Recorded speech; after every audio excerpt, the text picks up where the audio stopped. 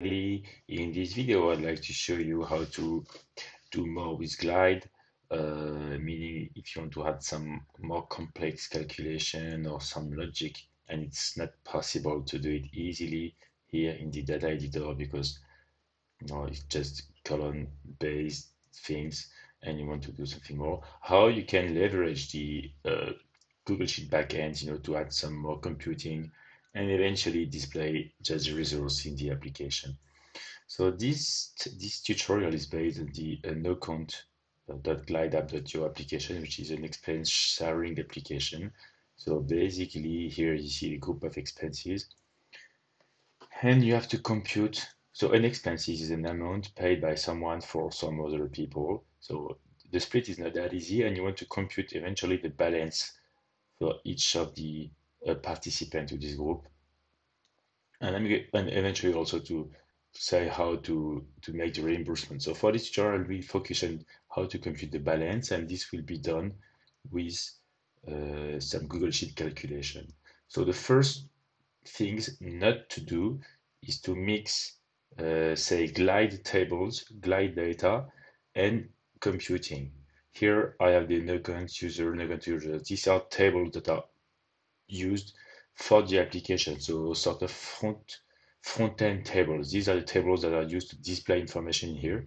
I absolutely do not want to put any specific Google calculation in these tables. It's very important because it's, it means that some of these sheets are managed by Glide. So here, if you want to add something in here like another category, this should be done with Glide as well. There is absolutely no reason to put a formula in here because this is what you could do. I mean, you can add a table, just basic information here, but if you want to add a formula, is the purpose of adding columns in here with all these specific types. So absolutely no formula, manually written formula here in your uh, glide table.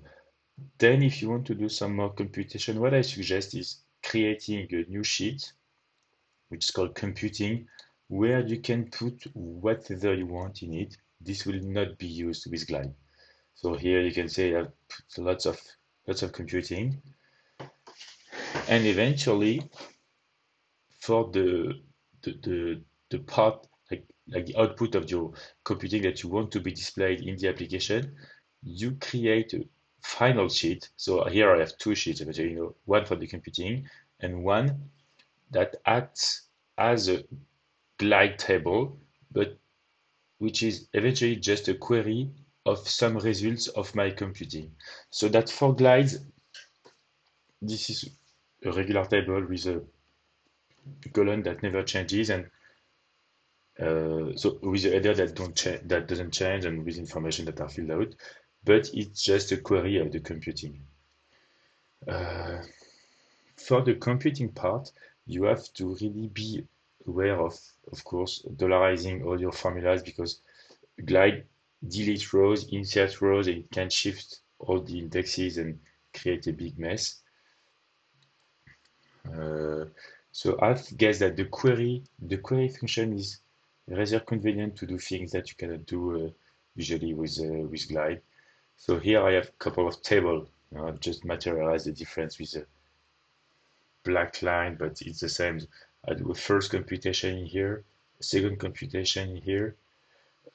When you put your formula, you also have to be be careful of the fact that uh, yeah, rows might change. So better use high-level formula. And if you want the formula to be applied automatically to all the, the lines, the array formula uh, of Google Sheet lets you automatically, you know, give a let you give a range so that it applies to all the all the lines and not uh, cell by cell. So that you can build all your table, and then uh, eventually in here with some array formula and some more complex things. Here I have eventually, you know, my my final table here balance, and I'm extracting it here so that when I'm back in the application here, the balance, the computing sheet is not usable at all, but the balance one is easy and I've even added some more relationships within the glide table editor to, to get the user data and stuff on the node cons. So yes, this is what you can do if you want to, to make calculation. Don't mix sheets that should be used as glide tables for display information and Google Sheet information and create a summary sheet that is only what you want to have, like as a result. So these are my main takeaway and the, the query the query function of Google Sheet is uh, pretty convenient for doing a complex calculation with one single line and also the array formula uh, to apply to to apply the, the formula to all the to all the rows directly without having to copy paste all the formulas because you never know how many rows you will have eventually. So thanks for watching and if you have any question, uh, please don't hesitate to write them down.